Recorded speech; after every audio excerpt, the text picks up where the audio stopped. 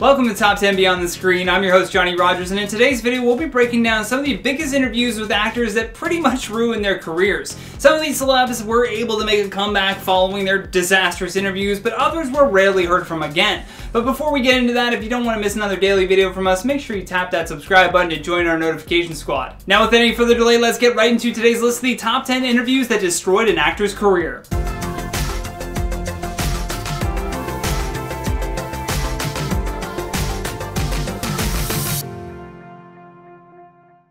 In at number 10, Megan Fox. If you want to keep your job, it's probably best not to compare your boss to Hitler. During a 2009 interview with Wonderland, actress Megan Fox did just this while describing her boss, the Transformers director Michael Bay. Not only did this result in her immediate firing from Transformers Dark Side of the Moon, it also led to the actress being blacklisted in Hollywood for the next few years until she apologized to Mr. Bay. Upon reflecting on her being kicked out of the Transformers franchise, Megan told Cosmopolitan magazine that this was absolutely a low point in her career, but without saying what she said, she wouldn't have learned as quickly as she did. She knew that in order to get her career back, all she had to do was apologize, but she still refused. Fox blames her attitude on being very self-righteous at 23 and not being able to see that this was for the greater good. Probably the greater good of her bank account, I'm imagining. In at number 9, Katherine Heigl. Katherine Heigl seems to be the type of celebrity that just says yes to every opportunity and then when she regrets it later, she just openly bashes her decisions in the public eye.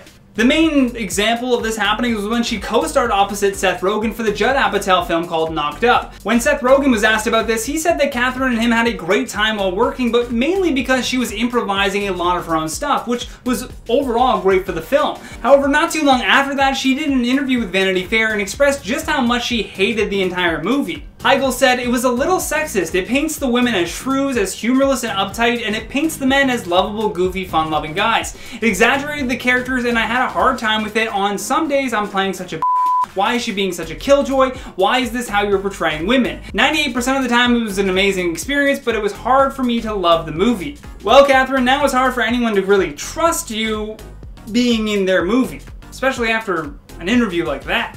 She had some commentary about Knocked Up after it came out. What'd she say? She she didn't like it. She didn't like it? But she was so awesome in it, so it, it, it was right. confusing. In number 8, Charlie Sheen. Charlie Sheen is the exact polar opposite of what you should do when pursuing a career in Hollywood. He carries with him a terrible offset and onset reputation, and the debacle that he went through in 2011 even led to his contract termination from the show Two and a Half Men.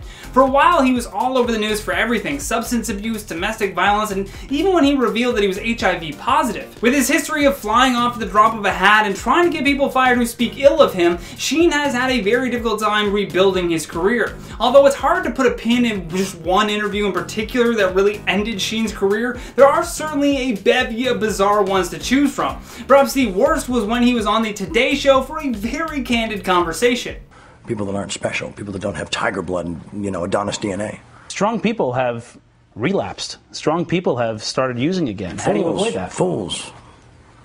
Trolls. In at number 7, Tom Cruise. During an interview in 2005 with former Today Show host Matt Lauer, Tom Cruise wanted to make it very clear to the host that he knew more about the history of psychiatry than Matt Lauer did.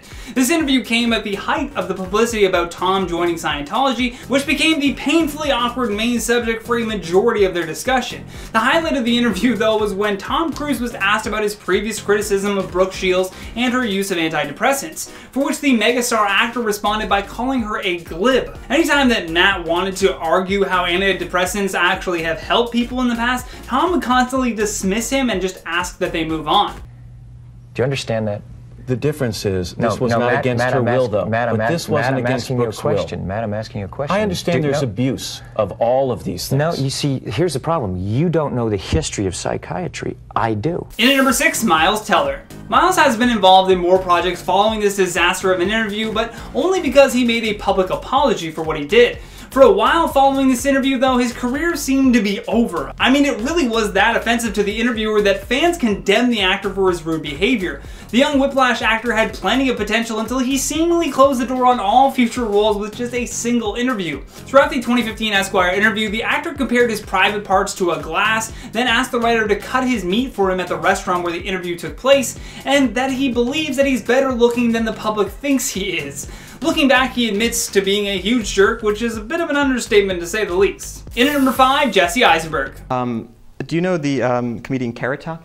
Yes, horrible. Well, um, you were like the uh, carrot top of interviewers. Yeah. Ooh. Yeah. No, and it's a good thing. It's I'm a good go thing. cry now. No, don't cry now. Cry after the interview's over. While promoting the film Now You See Me, Jesse Eisenberg just could not contain his utter disdain for this interview. Right out of the gate, he was on the offensive. The interviewer refers to Morgan Freeman simply as Freeman, for which Jesse then takes real offense to.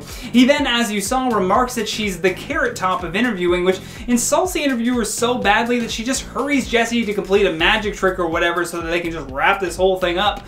The entire interview is just one of the most uncomfortable things that I've ever seen, and this is only number five on the list. Trust me though, if you haven't watched this full interview, you must. It is just such a terrible exchange back and forth between an actor and an interviewer. A true masterclass of what not to do in press interviews. In at number four, Billy Bob Thornton. As great as a career that old Billy Bob has had as an actor, he is also in a band called the Boxmasters. Although oddly enough, whenever he does interviews now, he insists that they only talk about the band and never ever bring up his acting career, which is really weird considering how prolific this guy was as an actor. You'd think if the interviewer was even a little bit of a fan of his, he would be really disappointed to get this demand before starting the conversation with him.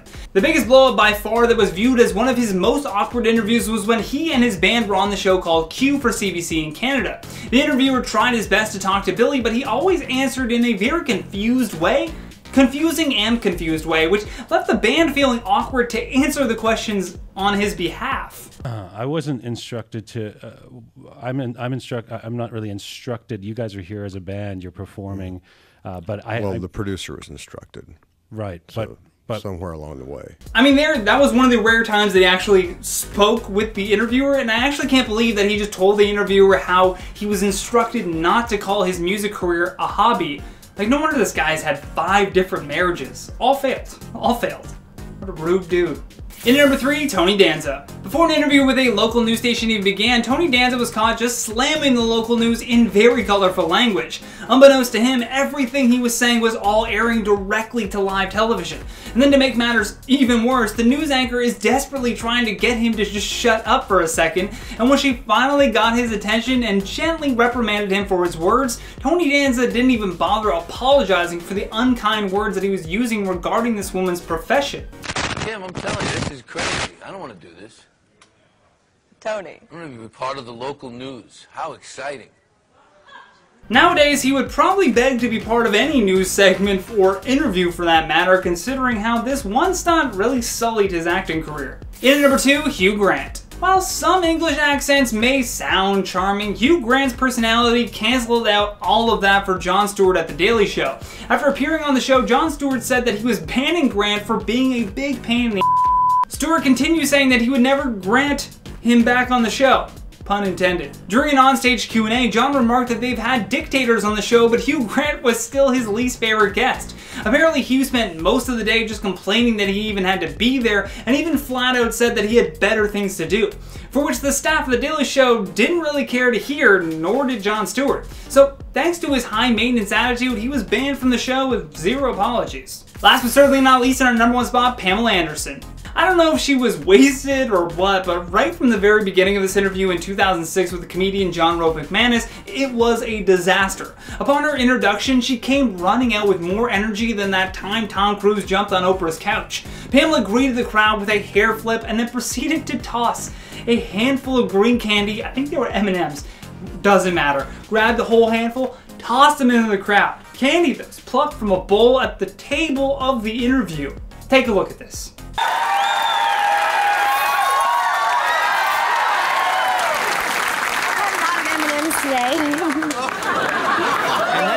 By the sounds of things. Although the real nail in her coffin was the drama that led up to this bizarre interview with the former Baywatch star. According to John, the show runs live and Pamela was late, so he actually had to start the show before she was even in the building. When she finally did show up, she really seemed like she was doing everything to hurry up the process and just get out of there. Multiple times he genuinely asked her if she was okay, but that only made things even more awkward, and thus her career was finished. He said dramatically. With that, let's check out some of your comments from the video titled Top 10 Greatest Bruce Lee Moments. Stephen Ware says, Great list, Johnny, can't go wrong with Bruce Lee. You most definitely can't go wrong with Bruce Lee. I mean, I grew up watching his movies and just absolutely loved everything about the guy. I mean, how could you not?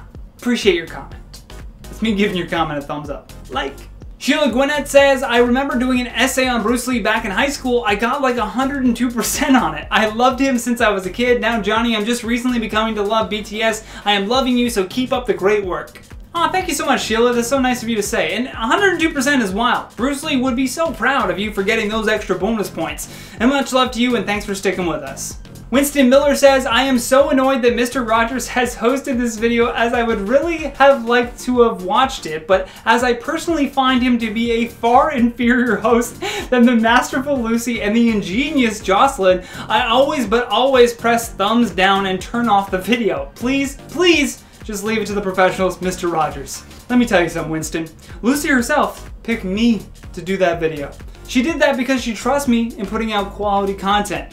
Both Joss and Lucy would have done a terrific job with the topic, I have no doubts. But I love Bruce Lee like no one else. So regardless, I hope you have a great day, Winston, and just know that one day I'll turn you from a hater into a fan. You just really gotta give me a chance, dude. Really sad that you gave up on Bruce Lee so quickly just because you didn't like who the host was.